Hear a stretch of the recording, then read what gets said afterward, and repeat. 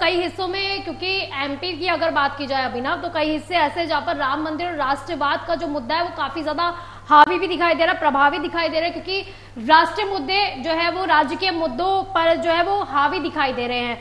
तो क्या कहा जाए कि एमपी में भी ऐसे कई है, क्योंकि जहाँ पर कहा जा रहा है कि स्थानीय बनाम बाहरी प्रत्याशी का मुद्दा भी लोगों के जहन में तो कहीं पर करप्शन का मुद्दा भी है। तो क्या कहा जाए, इस बार जो है, ये जो राष्ट्रीय मुद्दे हैं, वो राज्य के मुद्दों से भारी पड़ते हुए नज़र आ रहे हैं।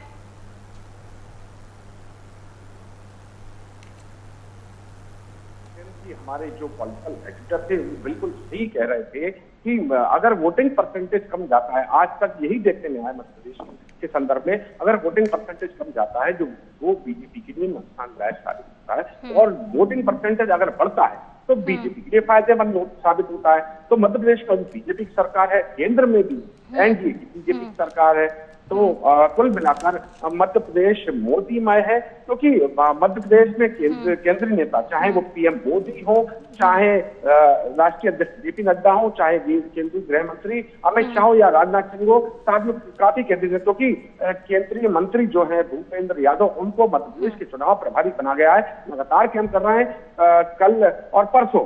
दो दिन लगातार पीएम मोदी मध्य प्रदेश के दौरे पर थे और मध्य प्रदेश की राजधानी भोपाल में उन्होंने रोड शो भी किया था और कल कल एक बड़ा बयान भी दिया मध्य प्रदेश में हम्म। और आज से लगातार केंद्रीय गृह मंत्री अमित शाह मध्य प्रदेश के दौरे पे मैं आपको बता दूँ कि मध्य प्रदेश में जो बीजेपी अपना दावा कर रही है कि साढ़े चार लाख से ज़्यादा कांग्रेसी नेता और कार्यकर्ता अभी तक बीजेपी में शामिल हो चुके हैं हम्म। ये दावा कितना बीजेपी इसको सच साबित करने में लगी कांग्रेस तो सवाल खड़ा कर रही वो बात अपनी जगह है। हम्म। लेकिन अगर साढ़े चार लाख से ज़्यादा कांग्रेसी नेताओं कार्यकर्ताओं ने जिसमें पूर्व केंद्रीय मंत्री सांसद विधायक वर्तमान विधायक वर्तमान जिला पंचायत अध्यक्ष वर्तमान नगर पालिका अध्यक्ष जैसे बड़े कांग्रेसी नेता शामिल है शामिल हुए हैं तो कुछ ना कुछ बड़ी बात है। मैं आपको बता दूँ कि जब इन जो कांग्रेस से बीजेपी में आए हैं उन नेताओं से जब बात की कि उन्होंने आखिर कांग्रेस को छोड़ी तो उन्होंने सबसे पहले कांग्रेस के शीर्ष नेतृत्व पर सवाल खड़ा किया। उन्होंने कहा कि कांग्रेस हमेशा सनातन का अपमान करती है और कांग्रेस भगवान राम का जो उद्घाटन समारोह था उसमें नहीं गई। यानी कि कांग्रेस की हालत लगातार सनातन का अपमान करने की इसी से शुद्ध होकर इसी से गुस्सा होकर हम कांग्रेस छोड़कर बीजेपी में शामिल हुए। यानी कुल मिलाकर बीजेपी के लिहाज से बात की जाए तो साढ़े चार लाख एक बहुत बड़ा फिगर होता है।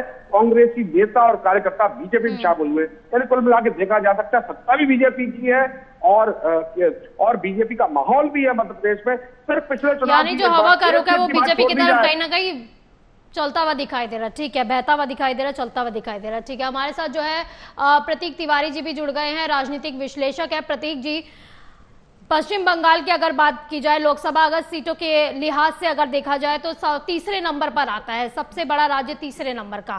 तो क्या कहा जाए, क्योंकि टीएमसी ने 42 में से 22 सीटें पिछली बार जीती थी, वहीं पर बीजेपी को 18 सीटें मिली थी। यानी कि लगातार जो है बढ़त बीजेपी की दिखाई दे रही है। इस बार क्या लगता है, कितनी ज़्यादा टेंशन ममता बनर्जी के लिए भी है?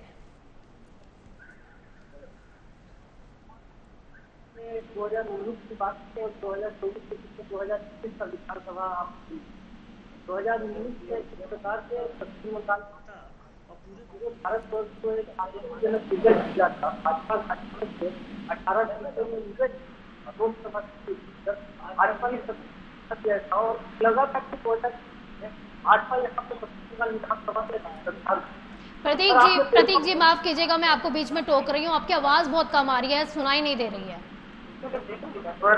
मैं ये कह रहा हूँ जी।